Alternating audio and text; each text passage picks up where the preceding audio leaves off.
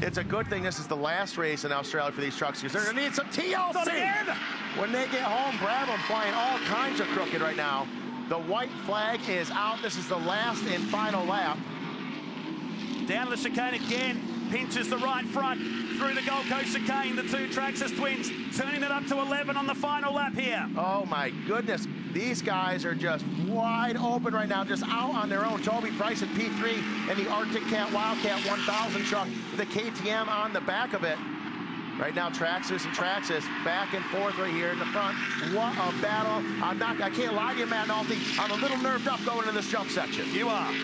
Stand back. Through they come. High speed approach across the Traxxas ramp. And again, it's oh. another one oh! from Brabham. He had to do it. And now he's right on the back of the 2015 champ.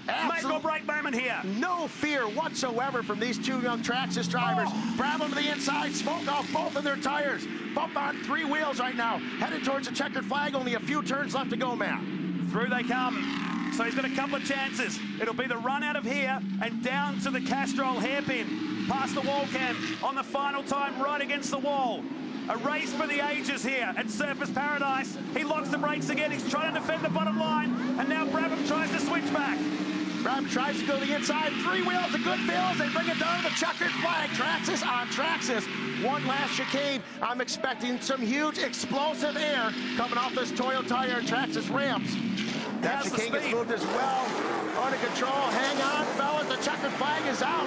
Sheldon Creed, P1. Matty Brabham, P2. What an amazing race right there. Wow. Put that above Toronto as oh. the best race of the year.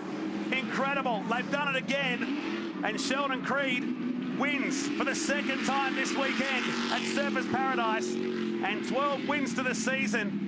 The Traxxas twins putting on an absolute show here today just unbelievable. Just some wild, wild racing there. And it, uh, give it to the, almost the majority of the guys out there ran really well. They kind of kept their stuff together and, and were able to make it happen. Replay across the backside oh. of the circuit. Oh. Incredible, but he had to do it.